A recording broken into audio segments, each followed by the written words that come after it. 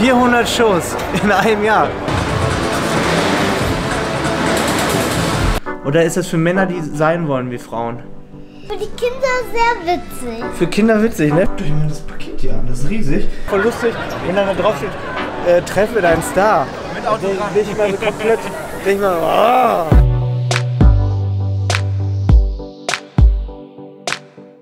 Tag, Showsfreunde, euer Görki am Start. Ich bin hier in meiner Heimat in Dortmund und hinter mir ist der Flickflack-Zirkus. Heute gibt es Akrobatik, Motorradschauen, alles.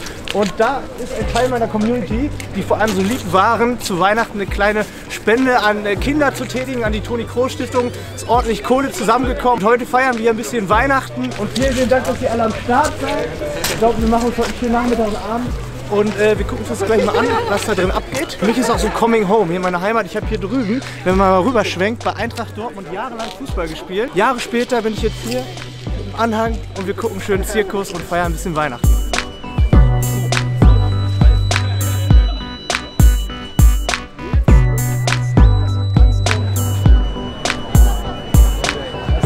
So, jetzt geht's rein. Die Community ist schon drin und wir gehen jetzt mal gemeinsam hier in das äh, Festzelt rein. Flickflack. Jetzt gibt es hier noch die Kartenabnahme. Ich habe auch ein Ticket bekommen noch. Ganz am Ende. Bitte.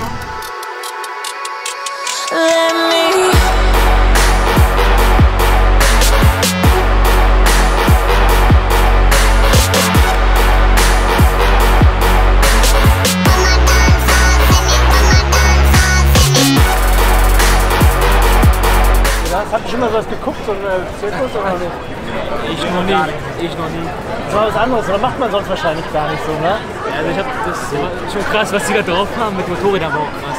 Victoria, du denkst, das ist ja auch nicht gesichert, die Akrobaten. Du denkst, wenn er jetzt runterknallt, gut fürs YouTube-Video, aber schlecht für die Akrobaten so, ne? Ist schon nicht ohne. Also ich glaube, die müssen den ganzen Tag trainieren, wahrscheinlich mehr als wir im Fitnessstudio so, ne?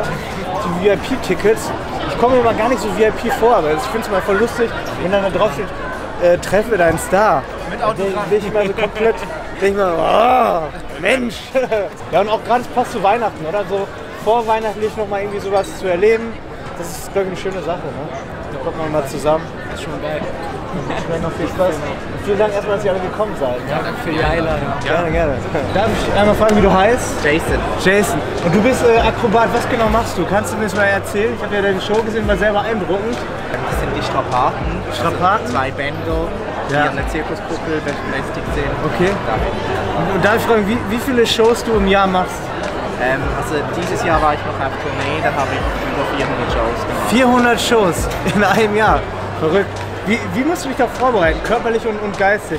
Trainierst du jeden Tag, noch zusätzlich? Ja, also wenn wir jetzt viele Shows haben, manchmal haben wir drei Shows am Tag, Ja. da kann ich nicht mehr viel trainieren, Ja. aber sonst natürlich das Training ist extrem Das heißt, wichtig. du hast oftmals zwei Shows und musst trotzdem noch trainieren. ja. Respekt, das ist schon hart. Und wie machst du es mental? Du hast ja auch das Risiko, dass du Ja. abstürzen Ja. kannst oder dich verletzen kannst. Versuchst du es komplett auszublenden, dass du sagst, mir kann nichts passieren?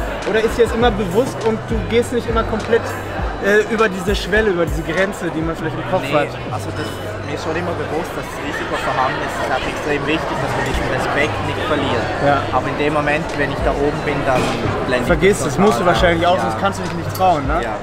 Auf jeden Fall sehr, sehr beeindruckend. Ich wünsche dir viel Erfolg weiterhin. Hat mich gefreut und danke für diese tolle Show und äh, schöne Feiertage und frohe Weihnachten. Ja, das äh, Zirkuserlebnis war wirklich super, muss ich sagen. War ein schöner Abend. Wir haben hier gerade Heiligabend und äh, Romy, äh, du hast gedacht, ich muss für Weihnachten muss ich schön aussehen, ne? Was hast du denn dabei gedacht, Romy? Na, dich zu schminken. Mich zu schminken einfach? Noch so ein Schminktutorial mit mir? Ja. Sehe ich so scheiße aus, Romy? Ja. Ernsthaft, sehe ich so schlecht aus? Ja. Was muss man da machen? Einfach dich rumschminken. Was machst du genau? Du musst sagen, was du genau machst. Na, ich mach dich richtig hübsch. Aber was machst du zuerst? Die Augen oder die Backen? Zuerst die Augen. Okay, dann zeig mal, wie du das machst, Romy. Ist das für Männer oder für Frauen? Für Männer. Bist du sicher? Ja. Oder ist das für Männer, die sein wollen wie Frauen? Ähm, die einfach nur Männer sind eigentlich. Aber Romy, hast du schon mal Männer in der Stadt oder auf der Straße so rumlaufen sehen? ja. Mit Farbe im Gesicht? Bist du sicher? Ja. Aber du wohnst auch in Berlin, ne, Romy? Ja. Da kann das passieren wahrscheinlich, ne? Was ist denn jetzt dein Plan? Wie soll ich aussehen, Romy, nachher? Einfach richtig hübsch. Wie ein Weihnachtsmann. Wie ein Weihnachtsmann? Ja. Aber ein Weihnachtsmann ist doch nicht hübsch, Romy. Der sieht doch lustig aus. Nee, der Weihnachtsmann ist richtig cool. Und jetzt die Augen? Ja, das andere auch. Ich habe das Gefühl, das wird komisch aussehen, Romy. Och nee. Hast du das gelernt, Romy? ja, Warst du in der Schule? Ja, der Schminkschule? ja. Ja. Und da haben wir gesagt, man muss die, die Menschen hässlich machen, wie den, wie den Görki. Nee, man muss Männer so hübsch machen, wie noch nie. Männer so hübsch machen wie noch nie. Ja, Dass wie sie eine aussehen Frau. wie eine hässliche Frau. Ja. Du musst ja nicht die Ohren schminken, Romy.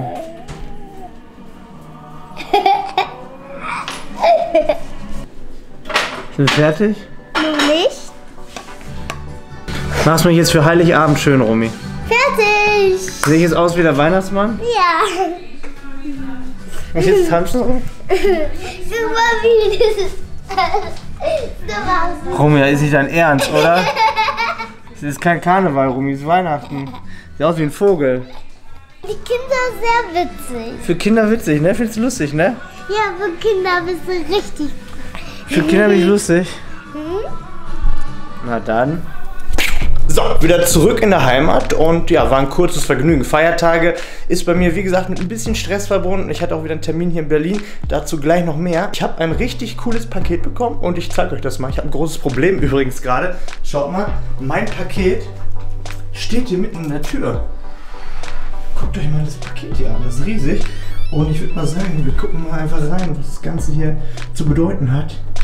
Ich kann nur sagen, das wird für den Winter ein Spaß vom Fernseher. Tada, liebe Sportsfreunde, guckt euch das mal an. Ein geiles Live-Fitness-Bike. An der Stelle vielen Dank an Team Indoor Cycling Germany, die mir das hier zur Verfügung gestellt haben. Und boah, ich freue mich so. Ne? Es ist so der Knaller. Ich liebe einfach Spinning. Jetzt habe ich so ein Ding zu Hause. Und ich würde sagen, das heißt ab sofort Netflix and Drill. Es gibt doch nichts Geileres, als vor dem Fernseher so ein Spinning-Bike zu haben und seine Kalorien purzeln zu lassen. Ich werde das erstmal aufbauen. Ich werde heute mal eine Einheit drauf machen. Da kommt dann noch so ein kleiner Computer dran. Und das ist wirklich ein professionelles Spinning-Bike, also ein richtig gutes. Und boah, das macht so Bock. Ich freue mich richtig. So, hier in der Ecke macht sich das so schon mal ganz gut. Für den Fall der Fälle schiebe ich das einfach da hinten vor den Fernseher und ich glaube, wenn man dann wirklich einen coolen Film guckt oder so, eine Serie, dann purzeln so die Kalorien einfach nebensächlich, wenn man auf dem Rad sitzt und dann gibt es noch so einen kleinen Computer. Ich gucke einfach mal, was dieser Computer kann, der wird hier vorne noch rangeschoben. Ey, und das ist für mich, für mich ist das beste Weihnachtsgeschenk, was ich haben kann. Ich freue mich so, ich habe mich so an Spinning gewöhnt. Das ist der übelste Knaller, einfach so ein Ding zu Hause zu haben. Wenn ich dann hier so ein bisschen Gas gebe, schaut mal, dann springt jetzt hier oben der Computer an und ich kann hier wirklich verschiedene Programme aussuchen. Ne? Also Herzfrequenz, Kalorien, verschiedene Cardio-Bereiche kann ich trainieren. Und im Handbuch gibt es dann hier Sachen, die man einstellen kann. Anaerobe Schwelle, man kann halt die Laktatschwelle trainieren. Und ähm, das ist wirklich interessant, was Cardio-Training angeht. Und dazu werde ich euch noch mal ein bisschen aufklären. Vielleicht für Leute, die wirklich auch zu Hause ein bisschen Cardio-Training machen wollen, eine gute Idee. Jo, mal ein ganz kurzes Essensupdate. Ich esse nach wie vor nur einmal am Tag. Ich esse nur eine dicke, fette Mahlzeit am Abend. Immer noch so eine Art Intermittent Fasting, komme ich mega gut mit klar. Ich muss nicht tracken. Wenn ich mal nicht am Abend dick Pizza oder wenn ich mal nicht am Abend dick Sushi bestelle, dann koche ich auch selbst. Und wenn ich selbst koche, sieht das folgend aus. 600 Gramm Rinderhack, Light-Version mit weniger Fett. 1 Kilogramm Gnocchi, dann äh, Gemüse, Eier packe ich mit rein, Zwiebeln, Knoblauch, Tomaten, so eine Pesto-Soße, ein bisschen äh, passierte Tomaten. Und diesen ganzen Haufen, ich weiß nicht, wie viele Kalorien es hat, aber es hat locker zweieinhalbtausend, allem drum und dran. Äh, die gönne ich mir dann am Abend nochmal rein und das ist meine Mahlzeit. Ich tracke das halt nicht und das macht mich übelst satt. So sieht es dann aus, wenn ich es selber koche. Ja, das nenne ich mal Abendessen, liebe Sportsfreunde. Dieser ganze Topf Gnocchi und diese ganze Pfanne hier mit dem gehackten, mit Gemüse und allem drum und dran ist jetzt mir. Ich weiß, optisch sieht das nicht so der Knaller aus. Aber eins kann ich euch sagen, das macht satt, das hat genug Eiweiß und das schmeckt trotzdem ziemlich geil. Und äh, das versorgt meine Muskeln und das gönne ich mir jetzt rein. Dementsprechend würde ich mal wieder sagen, wie immer, das Ganze hier muss jetzt besonders tief reingehen. Und wenn ich dann immer noch nicht genug habe, dann gönne ich mir so einen schönen Protein-Cookie. Die sind richtig, richtig lecker. Kleiner Tipp, einfach 30 Sekunden in die Mikrowelle, dann wird es schon weich und dann ist es ein richtig leckerer Protein-Cookie. Nach 30 Sekunden aus der Mikrowelle raus. Und dann ist der so richtig schön weich. Guckt euch das mal an, richtig, richtig geil.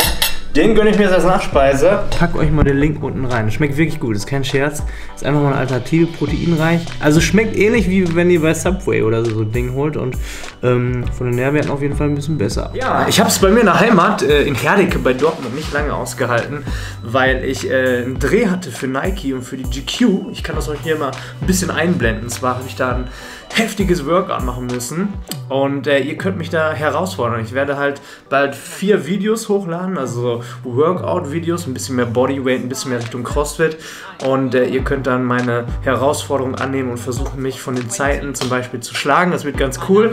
Ähm, war eine geile Geschichte, ein aufwendiger Dreh und es war mega anstrengend. Ich habe gemerkt, so beim Training so ein paar Defizite habe ich da schon und gerade Richtung Mobility und äh, CrossFit habe ich eigentlich Bock, im neuen Jahr mehr zu machen. Ne? Also wenn ich Vorsätze habe fürs neue Jahr, dann ist mein Vorsatz wahrscheinlich ein bisschen flexibler am Training zu werden. Einfach mal wieder neue Sportarten auszuprobieren.